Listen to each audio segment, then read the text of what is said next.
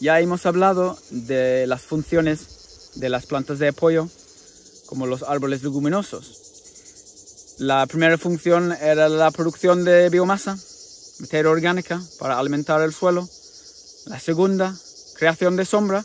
Y la tercera, en el caso de la mayoría de las leguminosas, es que son fijadores de nitrógeno.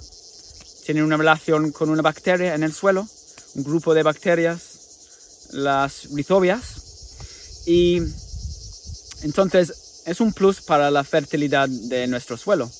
Tener, tener leguminosas en el jardín, los árboles como este Cercis, el árbol del amor, y para los nativistas tenemos plantas como retama, aulaga, bolina y me estoy olvidando de... ¿Jara?